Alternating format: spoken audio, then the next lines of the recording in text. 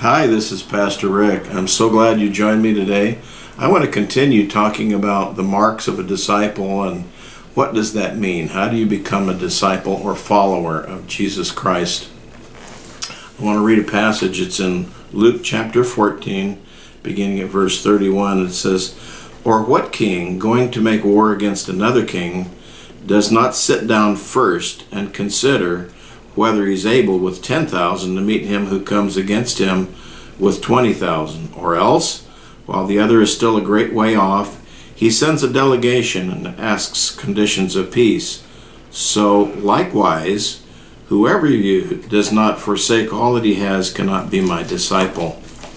What Jesus is actually talking about is that before we meet the Lord face to face, we need to be prepared to meet him we need to have made a decision to ask Jesus Christ to be our Savior and the Lord of our life before it comes our time to stand before Him. And uh, one of the marks, the most important perhaps, of a disciple is that person, man or woman, boy or girl, is a believer in Jesus Christ and uh, put his or her faith in Jesus as Savior. So, um, that is an absolute requirement of a person in order to be ready to meet God. Um, when I preached about this, I said, and I'll, I'll quote what I said I said, uh, life is like a war, and it is between good and evil, or between God and Satan.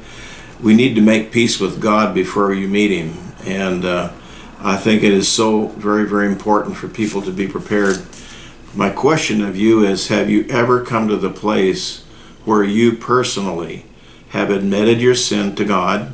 He already knows.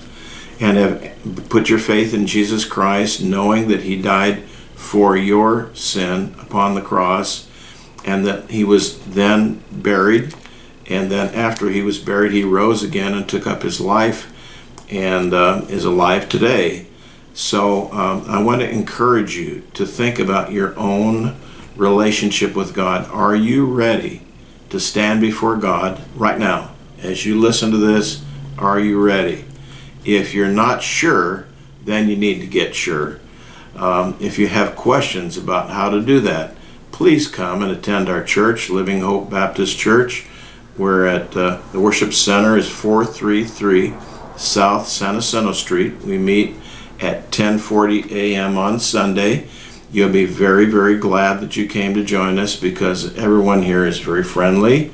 And if you have any questions at all, let me know. We can make an appointment with you to answer your questions. And I always use the Bible to answer the questions, okay? God bless you. Have a wonderful day.